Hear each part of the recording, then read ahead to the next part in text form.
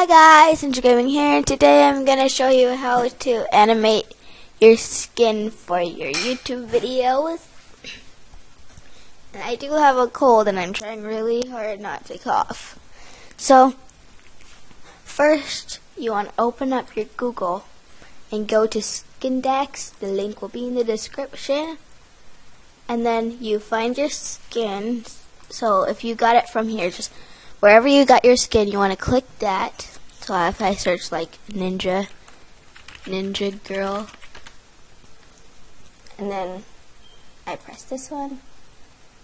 Oh, that's actually mine. Oh, it is. oh, that's 21 down. Okay, back to the subject. So then you want to press download button. And then you want to just drag this to your computer. So now I think I have two of them, I'm not sure. Okay, when you're done with that, you want to go to this link, it'll also be in the description. It's called Nova Skin. And then you'll end up with something like this. And what you want to do is take that skin you just downloaded and drag it to the page. And then your skin will load up. And then, bam, bam, what, bam and you want to drag your hand to this all the way to the corner and then go to pose.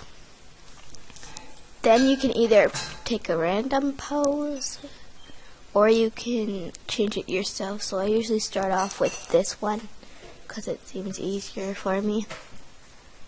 So you can, this one makes it go like this and I can make it like how I made it hold something. I made it, you can make it wave like that, and then you can put the left arm all the way down, which is hard to learn the, all the controls and memorize them. I haven't even memorized them. So, and then you just put it down, and then he's waving. Or you could just make it like this and then change it to the side, like drag it. Okay, and then we'll put, I think that's the right, so we can put any of these in our hand. So let's put this in our hand. Yeah, and then we can, oh god. drag, okay. And then we can change it so that it looks like she's drinking it. So, no, that's not, no. Why is it floating all the way over there? We'll change that. It's kind of glitchy, so. Bend this arm. Bam, what a bam. You got yourself drinking some nice cold water from this big bucket. Okay? And then when you're done with your creation, you go to the top and then you press save. And then you press save again. And if you want this to be your wallpaper, click create wallpaper. and if you want to download it, click this, save image as, save and they're downloading. But when I press download this one, it turns out as that again. So don't press that. You want to right click on it and press save image as. okay, exit that out and press back. Oh, don't press back. Sorry. You want to get it like this. Drag your download over here and there you go. You've got your animated skin, and this is like the simplest way ever. And then what I do is I go onto um, PicMonkey, and I can press edit a photo. And I don't know what background I should use, but I'm gonna use a background. Okay, then you just press open up here. If it would load.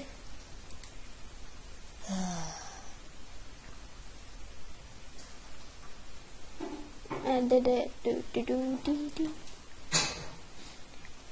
Just had to pull that up. Okay.